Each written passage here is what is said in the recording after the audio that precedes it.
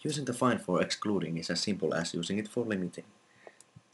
I just press find, type in something, I want to get rid of this internal network traffic, I just throw it away, and there we go. Oh, but there's another internal network I don't like to see today, so let's go back for search, and pick this one, exclude, now.